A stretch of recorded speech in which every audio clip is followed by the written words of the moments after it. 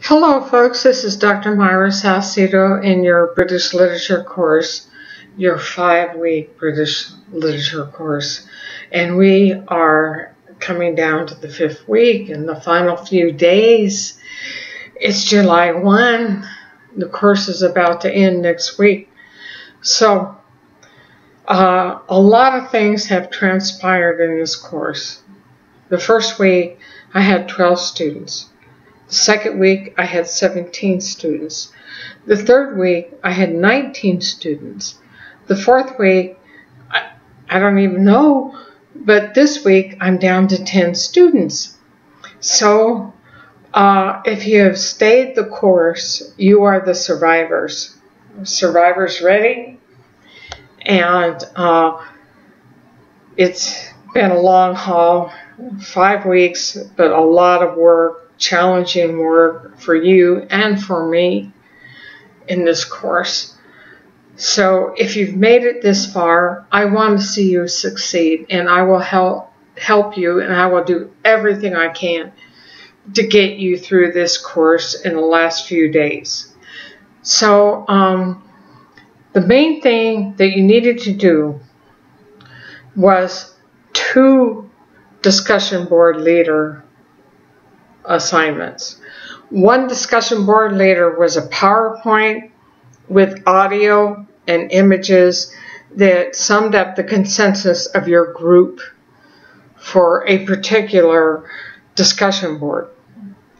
The second discussion later assignment was for you to do a video summing up the consensus of your group.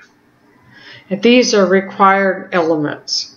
If you have not done those, I will work with you to do those. You can pick any uh, discussion board in the group and uh, present a PowerPoint with a narrative audio. That means reading beyond the slides. Don't just read the text on the slides. Put in a little bit more and have images in the slides and sum up some people's ideas. They don't have to be your group ideas because the groups just uh, change so much because of people coming in and going out.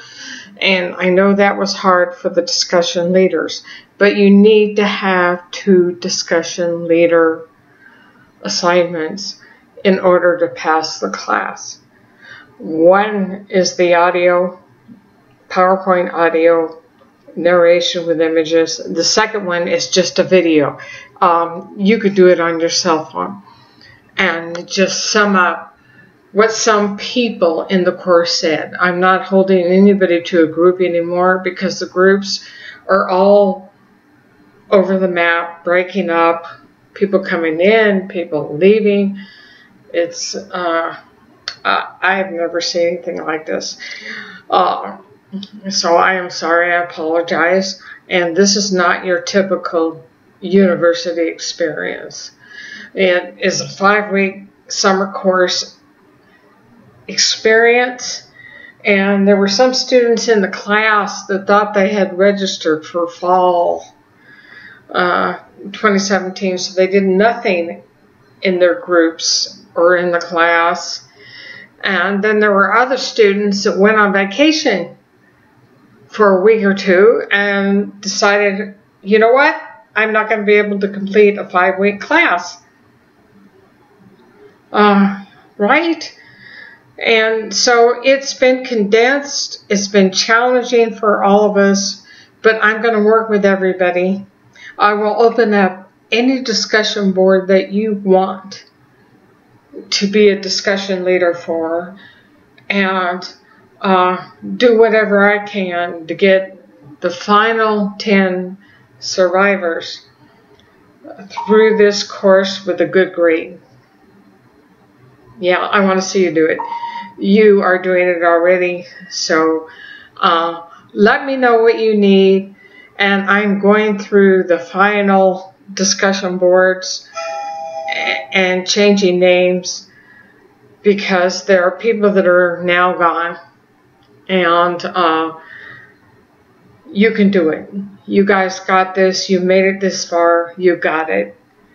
you can text me, text before calling, and I will help you with anything that I need to. Um, I also am putting a good paper, I put a good paper into the performance project um, module. So if you needed to work on your performance project module, there's a good paper there. And I am accepting papers with extended due dates with no penalties. And uh, the last day of class, I think, is July 6th. But I will do the best I can to take things after and find out when the last day is that I could turn in final grades. So I want to work with you and I want you to stay the course. You got this. So do it. And uh, I am sorry for the little bit of chaos that occurred this course um, with people moving in and out. There was some confusion, and uh, I apologize for that. It's usually not like this. And those that hung in have done wonderful work, and I am really proud of you guys. So stick with it, and I'll see you in the next video.